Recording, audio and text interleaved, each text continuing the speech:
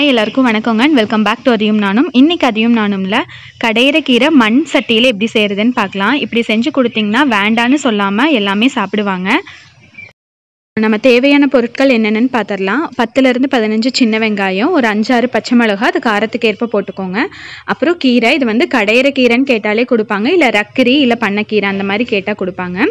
So இதை வந்து நான் இன்னைக்கு வந்து மண் சட்டியில் தாங்க செய்ய போகிறேன் மண் சட்டியில் செய்கிறது ஒரு தனி டேஸ்ட்டு வாங்க எப்படி செய்கிறதுன்னு பார்த்துடலாம் நான் வந்து இன்னைக்கு மண் சட்டியில் தான் செய்கிறேன் இப்போ ஃபர்ஸ்ட் வந்து மண் சட்டியில் நீங்கள் ஒரு சொம்பு அளவு தண்ணி ஊற்றிக்கோங்க அதில் வந்து நான் இப்போ ஃபர்ஸ்ட்டு நம்ம பச்சை மிளகா போட்டுடலாம். ஆறு பச்சை மிளகா போல் அந்த காம்பை கிள்ளி போட்டிருக்கேன். இப்போ இந்த தண்ணியில் இது நல்லா சூடாகி அந்த எசன்ஸ் எல்லாம் இறங்கி தண்ணி நல்லா கொதி கொதிக்கிற வரைக்கும் விட்டுறலாம். அதுக்கப்புறமா நம்ம எது ஆட் பண்ணுறதுன்னு பார்த்துடலாம் இப்போ பார்த்தீங்கன்னா நல்லா தண்ணி கொதிச்சு அந்த மிளகாவோட எசன்ஸ் எல்லாம் இறங்கிருச்சு. இது இந்த அளவுக்கு நல்லா கொதிச்சு மிளகா கலர் மாறுற வரைக்கும் பார்த்துக்கோங்க மாறினதுக்கு அப்புறமா வந்து நம்ம சுத்தமாக கழுவி வச்சுருக்க கீரையை நம்ம அதுக்குள்ளே போட்டுடலாம் இது பார்த்தீங்கன்னா நிறையா இருக்க மாதிரி தெரியும் கீரை பட் அப்படியே உள்ளே இழுத்துக்குங்க. ரொம்ப ஷ்ரிங்க் ஆகி ரொம்ப சிறு கம்மியாக போயிடும்.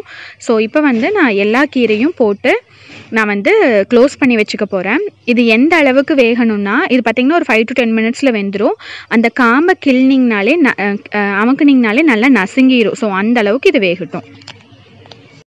இப்போ அஞ்சு நிமிஷத்துக்கு மேலே ஆயிடுச்சுங்க. நான் ஓப்பன் பண்ணி பார்த்தேன். நல்லா கொதிச்சு இப்படி கொதி வந்திருந்தது. ஸோ நான் ஆல்ரெடி சொல்லியிருந்தேன். அந்த காம்பை நல்லா நசுக்கி பார்த்தீங்கன்னா நல்லா வெந்திருக்கும். ஸோ இது வந்து நல்லா வெந்துருச்சு. இப்போ நான் என்ன பண்ண போகிறேன்னா அடுப்பு ஆஃப் பண்ணிவிட்டு இந்த தண்ணியெல்லாம் வடிச்சுக்க போகிறேன் வடித்ததுக்கப்புறம் என்ன பண்ணுறதுன்னு பார்க்கலாம். இந்த தண்ணியை வந்து நம்ம வடிச்சுக்கலாம். இந்த தண்ணி நம்மளுக்கு தேவைப்படாதுங்க. ஏன்னா நம்ம கீரையை மட்டும்தான் கடைய போகிறோம் ஸோ இந்த தண்ணி வந்து வேஸ்ட்டு தான்.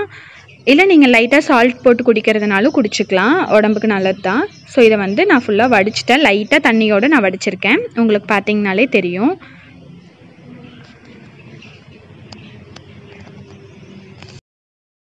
மண் சட்டியில் செய்கிறது என்ன பெனிஃபிட்னு பார்த்தீங்கன்னா நான் ஆல்ரெடி வடிச்சும் வச்சு ஆஃப் பண்ணி வடித்து வச்சாச்சு. இருந்தாலும் அந்த கார்னரில் பார்த்தீங்கன்னா இன்னுமே கொதிச்சுட்ருக்கு ஸோ வந்து மண் சட்டியில் செய்கிறப்ப சூடு வந்து உங்களுக்கு ரொம்ப நேரம் நிற்கும் ஸோ பருப்பெல்லாம் போட்டிங்கன்னா ரொம்ப சீக்கிரத்துலேயே வந்துடும் அண்ட் டேஸ்ட்டும் உங்களுக்கு நல்லாயிருக்கும் படித்ததுக்கப்புறமா வந்து இந்த மாதிரி சின்ன வெங்காயத்தை நம்ம பருப்பா மட்டியில் வச்சு இப்படி தட்டிக்கலாம்.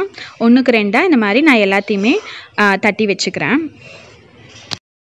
இப்போ பார்த்தீங்கன்னா நான் இந்த அளவுக்கு சின்ன வெங்காயத்தை தட்டி வச்சுட்டேன்.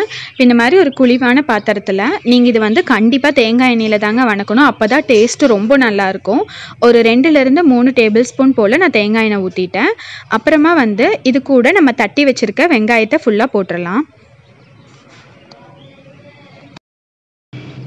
எல்லா வெங்காயமும் போட்டாச்சுங்க. இது ஒரு அளவுக்கு லைட்டாக கலர் மாறுற அளவுக்கு நம்ம வணக்கி விட்டுக்கலாம். ரொம்பவும் ஜாஸ்தியாக வணக்கிடக்கூடாது.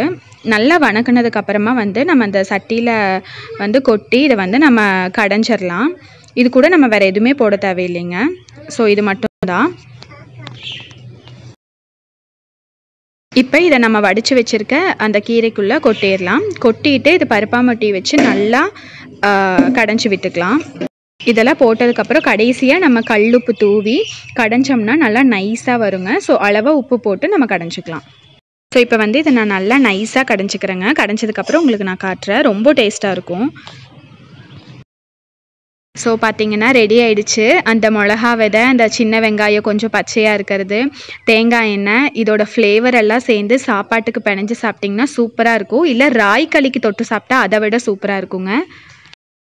அவ்வளோதாங்க. ரொம்ப டேஸ்டான கடையிற கீரை ரெடி ஆயிடுச்சு. இது எங்கள் ஊர் சைடில் வந்து நாங்கள் கடையிற கீரைன்னு தான் சொல்லுவோம். உங்கள் எல்லாத்துக்கும் பிடிச்சிருக்குன்னு நினைக்கிறேன்.